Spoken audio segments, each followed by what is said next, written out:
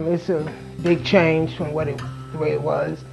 Um, the apartments um, are made better. The floors are much better. We have um, energy sufficient energy sufficient heat, and that that helps a lot. Um, we have a community room. That's something that we did not have before.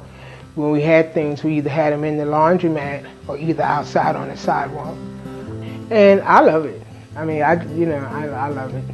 You know what I mean? And, and it's growing. You know, when I moved in, things weren't so good, but things are very good now. Very good.